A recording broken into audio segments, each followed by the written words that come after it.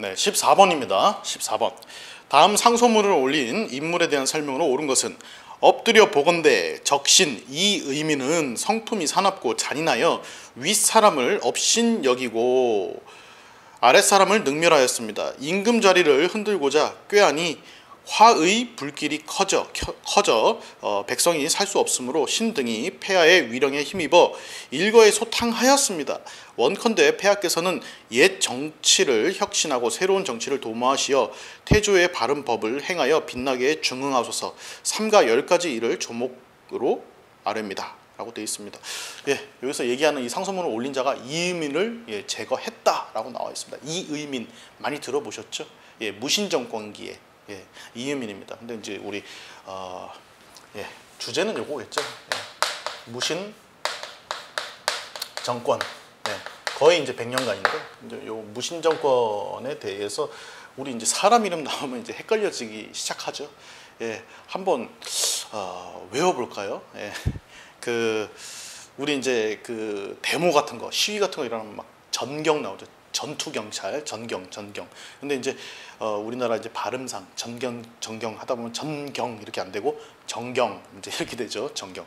근데 이제 전경이 딱 지나가요. 근데 어, 너무 궁금한 거예요. 저 전경이 과연 성이 뭘까 예, 물어봅니다. 어, 이 전경이 이 전경이 최 씨요? 그랬더니 옆에 있는 친구가 그럽니다. 김 씨 임. 예. 예. 그게 뭔 얘기냐? 이게 뭔 얘기냐? 이 정 경 이 최 씨요? 임 씨 임. 김 씨 임. 김 씨 임. 예. 이 정경이 최 씨요? 김 씨 임. 예.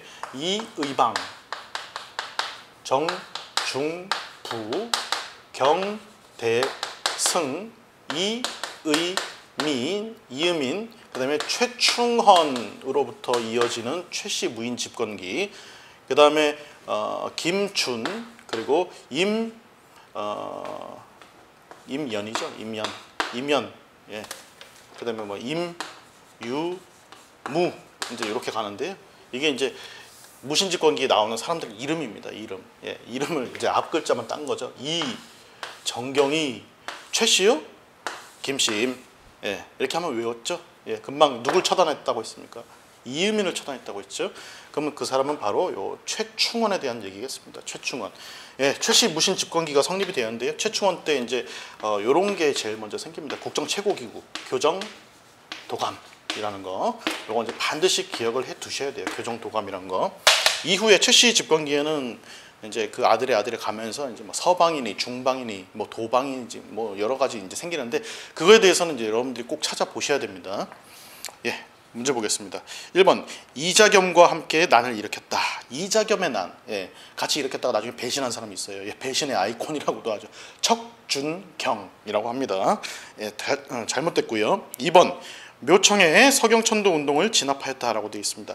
묘청의 서경천도 운동을 진압한 건 삼국 사기를 쓴 누구죠? 예, 김부식입니다. 김부식. 3번 성종에게 지방관의 파견을 건의하였다라고 나와 있습니다. 이건 이제 최승로, 예, 최승로가 시무책 28조, 예, 최치원의 어, 시무 10조하고는 또 다릅니다. 시무 28조예요. 예. 다음에 4번 외교 담판으로 강동 육주를 획득했다. 예, 서희입니다. 서희의 담판. 예, 대한민국 사람이면 다 알고 있죠. 서희의 담판. 관련이 없고요. 5번 교정 도감을 설치하여 권력을 행사했다. 예, 최충원에 대한 얘기입니다. 예, 교정 도감 최충원. 예, 그래서 어, 이 외우는 방법으로 어, 한번 좀다 외워 보시고 그리고 이제 시험에 대비하시기 바랍니다. 반드시 세부적인 내용 체크하셔야 됩니다.